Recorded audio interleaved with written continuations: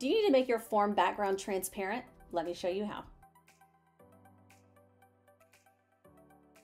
Hey everyone, welcome to Jotform. I'm Kimberly, and if you need your form to blend seamlessly into your website, making it transparent is the way to go. Now, there's a few ways to do that, so I'm gonna walk you through those. I am already in a form. We're going to choose the form designer over on the top right, the paint roller. And the most simplest way is to choose the form color right here. You can see it is white. And all we have to do is choose this box with the X through it.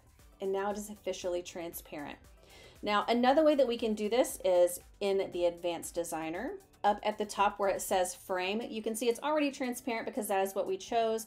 But let's say I'm gonna go ahead and choose white and we can see it is now changed back. All right, I'm gonna go ahead and click save and then let's head back because I wanna show you something with the shadows and how to get rid of those. All right, so I'm back in the form designer and let's say that again, I want this to be transparent, but we can see that there's still a shadow around my form and I want it to be completely transparent.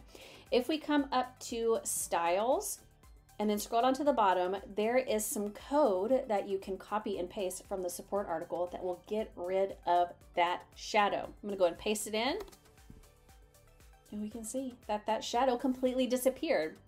So that is the simplest way to make your form transparent. If you have any questions, please let us know and I'll see you next time.